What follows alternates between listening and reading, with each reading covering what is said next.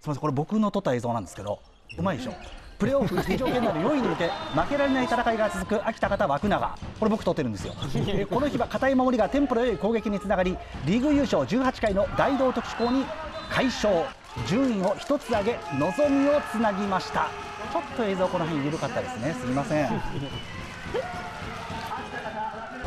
今日はずっともう自分たちのペースでも